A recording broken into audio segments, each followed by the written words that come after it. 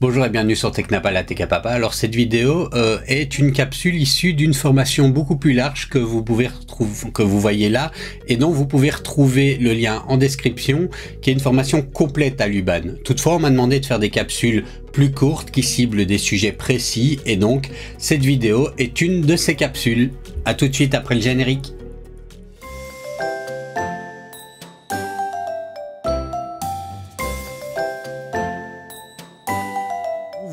Alors, si on crée un objet bottle, hein, avec la fonction bottle, on va pouvoir, eh ben, en fait, faire une bouteille euh, en partant d'un modèle de, en partant d'une image. Alors, je vous montre ceci. Hein, pour ça, vous allez avoir besoin d'une image à peu près du contour d'une bouteille. Vous avez plusieurs possibilités pour pouvoir le faire. Vous trouvez une image qui correspond, hein, mais moi, je vais en faire une dans Illustrator. Bon, on va faire quand même relativement simple. Donc, imaginons, bon, je vais faire euh, vite fait, hein, une forme comme ceci. Donc voilà, ma bouteille sera comme ceci. Je vais venir aligner mes points. Je vais lui demander un fond noir. Alors je vous ai dit, hein, j'ai vraiment fait à la grosse louche. Hein. Et donc voilà, je vais avoir à peu près cette forme-là. Donc c'est une bouteille bizarre. Hein. Allez, on va lui donner une forme un peu plus évasée. Voilà, comme ceci. Donc notre bouteille ressemblera à ça. Et dans l'Uban, je viens cliquer sur Vertical Section.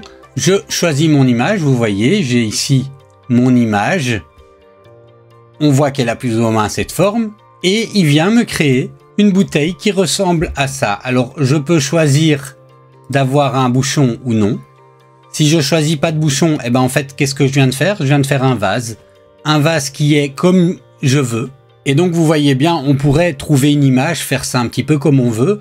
Hein, ça dépend vraiment du modèle 2D que vous avez, mais on peut faire à peu près ce qu'on veut. Si on l'évite pas, pas, on peut le garder comme ceci pour pouvoir imprimer en mode vase par exemple, ou on les vide pour l'avoir en modèle plein. L'épaisseur, eh ben, c'est nous qui choisissons. Si on veut doubler l'épaisseur, eh ben, vous voyez, on a quelque chose de plus épais à ce niveau-ci. Et on peut prévoir un capuchon ou non qui sera vissé avec, on choisit la hauteur du capuchon. Et comme ceci, c'est plus un vase, mais c'est une bouteille. Et vous voyez, en diminuant là, j'ai une bouteille qui a la forme que j'ai envie. Et si je sauvegarde le modèle, j'ai deux STL qui sont créés. Un avec ma bouteille, et vous voyez, avec le pas de vis pour la bouteille. Et un autre avec le capuchon qui intègre également un pas de vis pour pouvoir être imprimé et puis vissé.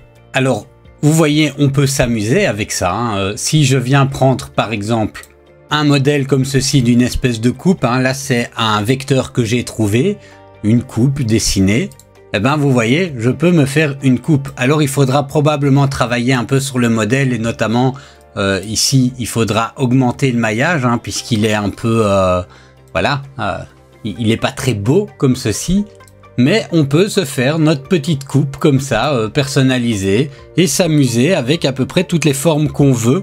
Vous voyez, ici j'ai pris le modèle d'une flasque, euh, d'un flacon, et voilà, j'ai quelque chose comme ça, qui est une bonne base de travail pour exploiter avec ou sans capuchon. Hein. donc euh, ça, c'est vous qui voyez. Ici, vous voyez, avec un capuchon tout fin, si vous avez envie de faire ceci avec un capuchon ou sans capuchon. Voilà déjà pour vos créations hein, avec Luban et cette fonction bottle, vous pouvez déjà faire pas mal de trucs sympas.